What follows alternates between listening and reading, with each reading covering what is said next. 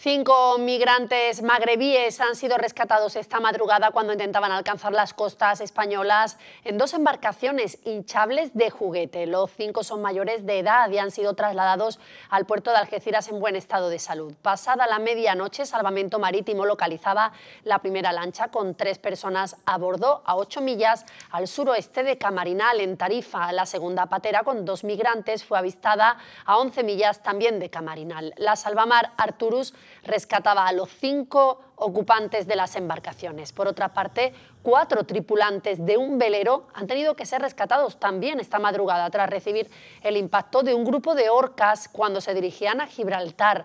También en este caso todos se encuentran bien y el velero ha podido ser también remolcado a las instalaciones portuarias de Barbate.